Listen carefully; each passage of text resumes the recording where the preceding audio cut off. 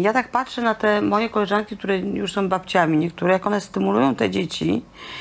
Zabawa, malujemy, kartkujemy, piszemy, e, angielski, teraz robimy przedstawienie, a teraz robimy nagrodę za przedstawienie, a teraz robimy e, e, jakieś malarskie impresje, dajemy nagrody. Potem to życie tak nie wygląda. Dziecko nie dostaje żadnej nagrody i nikt im nie mówi, że to był najpiękniejszy obraz.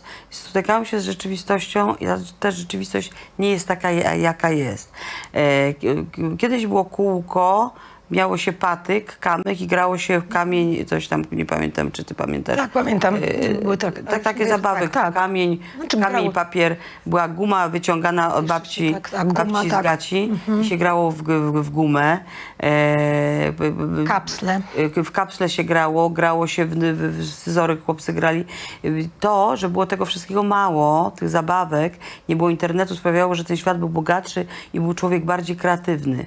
Y, Teraz widzę właśnie, że to wszystko poszło nie w tym kierunku, z, z tymi dziećmi, z tymi wnukami, z tym szaleństwem każdej sekundy zajmowania dziecku każdego ży- życia, tak? I to, to, że byłam na tych kaszubach, to, że myśmy e, mieli siebie, bo tam było bardzo dużo dzieci, bo tam było młode rodziny się tam pobudowały pod Gdynią w Rumi e, i było du- dużo dzieci, sprawiło, że nam nie byli potrzebni dorośli. A teraz dorośli bawią się z dziećmi, 7, 8, 9, 10-letnimi. To jest dla mnie dziwne.